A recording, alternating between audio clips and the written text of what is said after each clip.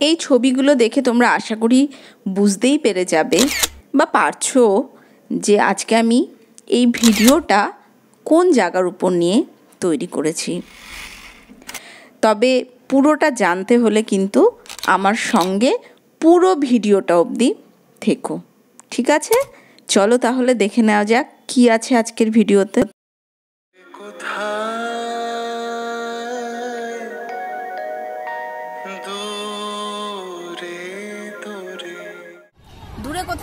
তোমাদের সবাইকে স্বাগত। এই স্বামীনারায়ণ মন্দির সম্বন্ধে তোমরা মোটামুটি সবাই জানো। আজকে তবু আমি নতুনভাবে আরেকবার দেখাতে নিয়ে এলাম। চলো আমার সঙ্গে। আর এটা একটা ভীষণ সুন্দর মন্দির। বিকেলবেলায় ম্যাক্সিমাম লোক কিন্তু চলে আসে এখানে ঘুরতে। শুধুমাত্র পুজো দেওয়া বা মন্দির দেখাটাই যে মেইন ব্যাপার এখানে তা নয়, একটা খুব সুন্দর জায়গা যেখানে একটা বিকেল সুন্দরভাবে স্পেন্ড করতে পারবে। চলো তাহলে। সারা বিশ্বে এখন প্রায় চুয়াল্লিশটা মন্দির আছে এই স্বামীনারায়ণ মন্দির। বিভিন্ন স্টেটে এবং বিভিন্ন জায়গায় এর নামগুলো হয়তো একটু আলাদা আলাদা করে, কিন্তু বাপস বা বিএপিএস যাকে বলা হয় বচনবাসী আকশায় পুরুষোত্তম স্বামীনারায়ণ সংস্থা, এরা বিভিন্ন জায়গায়, বিশ্বের বিভিন্ন জায়গায় কিন্তু এই মন্দির তুলে ধরেছেন বা মন্দির তৈরি করেছেন। এবার আমরা একটু পেছনে দেখি যে স্বামীনারায়ণ অ্যাকচুয়ালি কে ছিলেন? এনার অরিজিনাল বাড়ি কোথায় ছিল? চলো, আমরা একটু সেগুলো নিয়ে আলোকপাত করি।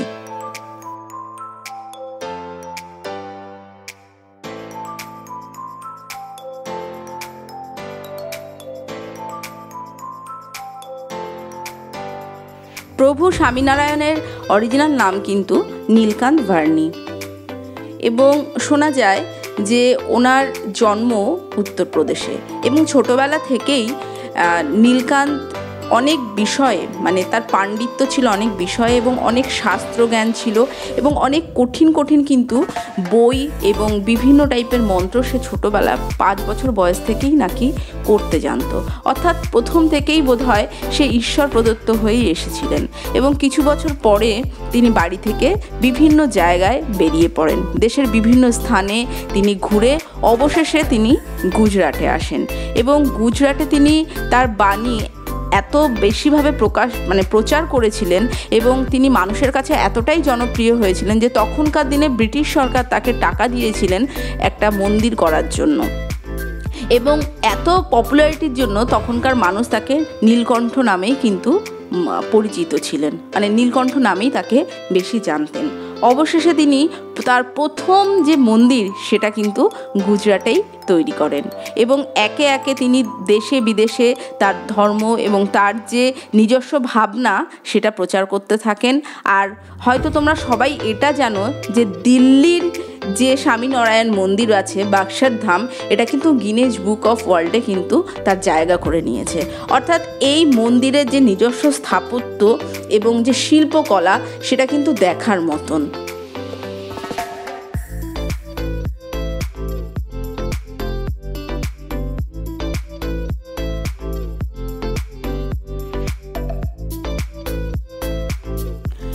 মন্দিরের যে স্থাপত্য তৈরি হয়েছে, তা কিন্তু বাস্তুশাস্ত্র ও পঞ্চরাত্র শাস্ত্র অনুসরণ করেই এই মন্দিরটি তৈরি করা হয়েছে। এবং তোমরা যখন মন্দিরে প্রবেশ করবে বা কেউ যখন স্বামীনারায়ণ মন্দিরে আসবে, তোমরা দেখবে অনেকটা জায়গা নিয়ে মানে বেশ কয়েক একর জায়গা নিয়ে এই পুরো মন্দিরটা তৈরি হয়েছে এবং এত সুন্দর সাজানো, গোছানো এবং সর্বোপরি যে পরিষ্কার পরিচ্ছন্ন সেটা সবার আগে মন কেড়ে নেয়। কোনো ধর্মস্থানে যাওয়ার আগে মনটাকেই কিন্তু সবার আগে আমাদেরকে শান্ত করতে হয়। আর সেটা স্বামীনারায়ণ মন্দিরে ঢোকার সময় অটোমেটিক যেন চলে আসে এবং এই মন্দিরের যে স্ট্রাকচার সেটা সত্যিই চোখ টানে। ঢোকার সময় দুপাশে যে সুন্দর মানে সুনিপুণভাবে বিল্ডিংগুলো করা এবং তার যে স্ট্রাকচার অনেকটা সেই পুরনো শৈলী আমাদের রাজস্থান, ঘরানার কিছু যে আগেকার যে আমাদের মহলগুলো ছিল, সেই সেই ছবিটাই কিন্তু সামনে টেনে নিয়ে আসে।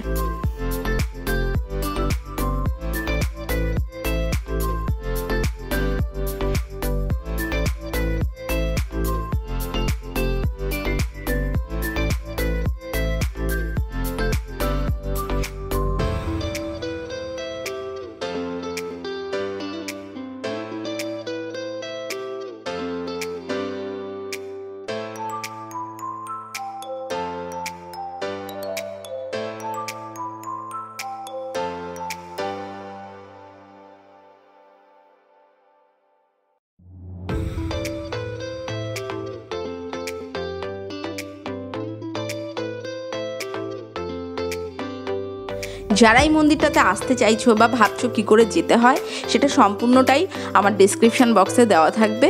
তোমরা সেখান থেকে দেখে নিও। তবে এই মন্দির কিন্তু অনেকে জোকার স্বামীনারায়ণ মন্দির বা পৈলানের স্বামীনারায়ণ মন্দির বলেও আখ্যা দিয়ে থাকেন। অর্থাৎ এটা কিন্তু জোকাতেই এবং ডায়মন্ড হারবার রোডের বা পাশে পড়ে। অর্থাৎ তোমরা যখন ডায়মন্ড হারবার রোড ধরে দক্ষিণ চব্বিশ পরগনার দিকে যাবে, তখন এই মন্দিরটা যাওয়ার সময় বা হাতে পড়ে।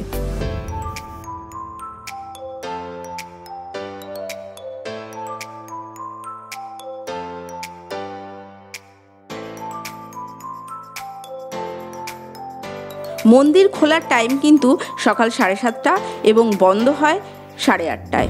এর মধ্যে বিভিন্ন সময়ে বিভিন্নভাবে পুজো দেওয়া হয়। অর্থাৎ সকালে একটা পুজোর টাইম থাকে দুপুরে থাকে এবং সন্ধেবেলাও থাকে। আমি আগেও অনেকবার জোকার মন্দির যাব যাব, অর্থাৎ স্বামীনারায়ণ মন্দিরে যাব, এই ইচ্ছেটা থাকলেও সঠিকভাবে সেই টাইমটা পাইনি। এবং এইবার যখন গেলাম, তখন একটা জিনিস মাথায় চিন্তা ছিলই যে আমি গিয়ে যদি পুজো দিই দিতে পারি। মানে দেওয়ার ইচ্ছেটা ছিল প্রবল। আর সেই ইচ্ছেটা এবার পূর্ণও হয়েছে।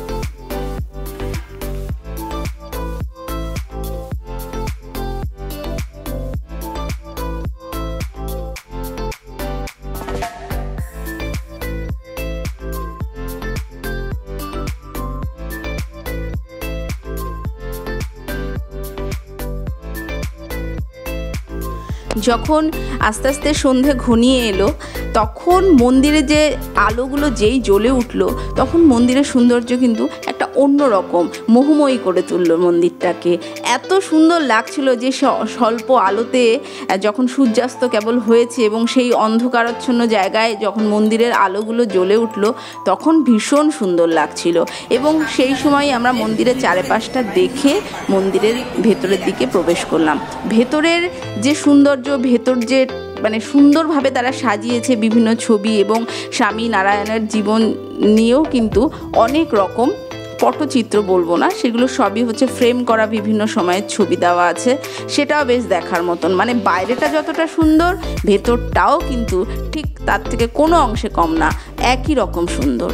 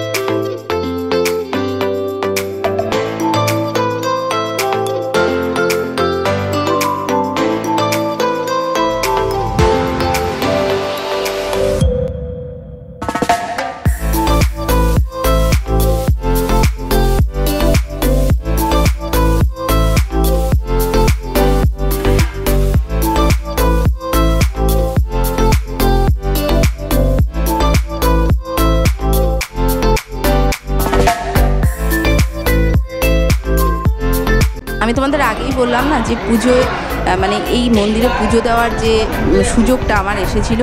যারা পুজো দিতে চাও, তারা ভেতরে গিয়ে ওখানেই পাশে সমস্ত কিছু, কীভাবে পুজো দিতে হবে, সমস্ত কিছু নিয়মাবলী দেওয়া আছে। পঞ্চাশ টাকা লাগে মানে ওরা পঞ্চাশ টাকা একটা প্রসাদ এবং একটা পূর্ণ জল দেয়। তারপরে ভেতরে গিয়ে দেখতে পাচ্ছ তোমরা, ভেতরে গিয়ে একটা জল দিয়ে হাত ধুয়ে নিয়ে ওরা ঠাকুরকে প্রণাম করতে বলে এবং এক ছোট্ট ঘোড়ার, এক ঘোড়া জল দেয় স্বামীনারায়ণ মানে প্রভু স্বামীনারায়ণের উপর। এই জলটা আমরা সবাই ঢালি। এবং এ, তখন তার, যার যা মনস্কামনা, ওখানে ভেতরে যে পুরোহিত ছিলেন তিনি আমাদের বলে দিয়েছিলেন যে, যার যা মনস্কামনা, সেটা বলো এখানে, তবেই তোমাদের মনস্কামনা পূর্ণ হবে। জানি না কি হবে, কিন্তু সত্যি কথা বলতে পূর্ণ পাবার লোভ তো কেউ সামলাতে পারে না, তাই না? তাই মনে যে অনেক কিছু আশা থাকে, সেগুলো হয়তো ভগবানের কাছে নির্দ্বিধায় চেয়ে নিলাম। জানি না কি হবে। আর হওয়ার জন্যই তো সমস্ত কিছু নয়।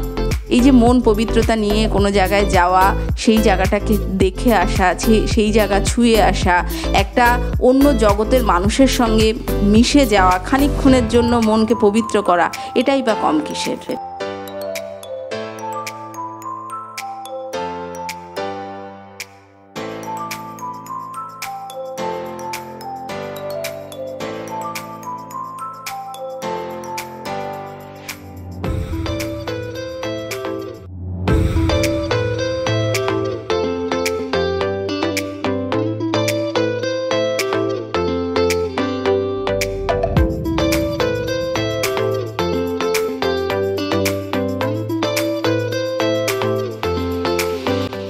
মন্দিরের পুজো দেওয়া এবং মন্দির প্রদক্ষিণ করা ভেতরে সমস্ত কিছু দেখে তখন অনেকটাই সন্ধে হয়ে গেছিল, আমাদেরও বেরোনোর টাইম হয়ে গেছিল, বেরিয়ে এলাম এবং বেরিয়ে এসে যেটা হলো, বাইরে কিন্তু এখানে অনেক রকমের বই পাওয়া যায় মানে ধর্মগ্রন্থ, বাপসের বিভিন্ন টাইপের বই পাওয়া যায় এখানে, তোমরা দেখতে পারো, এখানে এসেও যদি কোনো বই এবং বিভিন্ন টাইপের ওদের তৈরি করা, বিভিন্ন ক্রাফটের কাজ এবং ছোট ছোট সিংহাসন মানে ঠাকুর রাখার যে ঘরে আমরা ঠাকুর রাখি যে, সেই যে মন্দির মানে ছোট সিংহাসনগুলো হয়, সবই ছিল।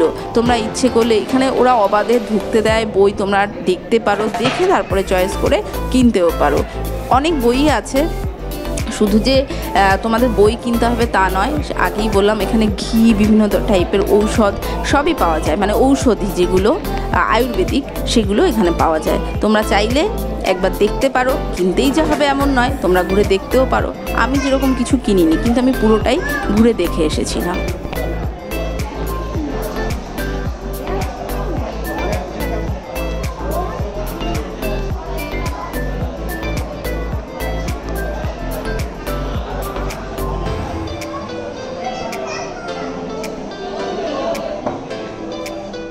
আরেকটা বড় জিনিস যেটা তোমাদের বলতে চাইছি, এখানে পার্কিংয়ের ভীষণ ভালো সুব্যবস্থা আছে এবং যারা বিকেলবেলা একটা ছোট্ট আউটিংয়ের জন্য বেরোচ্ছে, তাদের জন্য একটা দারুণ খবর দিই, এখানে কিন্তু একটা ভীষণ ভালো ক্যান্টিন আছে। তুমি কি খেতে চাও?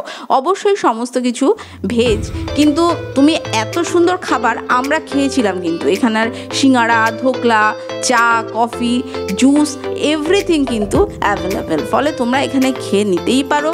সারা বিকেলটা ঘুরলে, তারপরে ক্যান্টিনে খেয়ে নিলে খুব সুন্দর, খুবই সুন্দর ব্যবস্থা। তোমরা গেলে ঠিক বুঝতে পারবে আর অবশ্যই এখানকার ক্যান্টিনের খাবারটা কিন্তু চেখে এসো। আর গেলে দেখতে পারবে যে এরা কত বড় একটা ক্যান্টিন তৈরি করেছে। মানে একসঙ্গে প্রচুর মানুষ এখানে বসতে পারে। অনেক একটা বিশাল বড় হল ঘরের মতন। এবং ক্যান্টিনে তুমি বসে যদি না খাও, বাইরেও এদের ছোট্ট একটা স্টোর আছে, সেখান থেকেও ছোট ছোট স্ন্যাক্স তোমরা কিনে খেতে পারো।